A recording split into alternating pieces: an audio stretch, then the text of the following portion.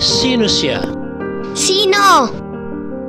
Siya si Agatona, ang pinakamatangkad na basketballistang babae at comics character. Siya ang pinaka-counterpart ng pinakamatangkad ding basketball player na si Mong na kinata at sinulat ng Filipino comics writer novelist na si Carlo J. Caparas. Nalathala ito sa mga pahina ng Hiwaga Comics ng Atlas Publication noong 1979 at iginuhit din ng Filipino comics illustrator na si Marty Santana. Isinalin ito sa pelikula noong 1980 at pinamahalaan ni Direk Artemio Marquez, ang aktres at naging Miss International na si Miss Melanie Marquez ang gumanap sa title role.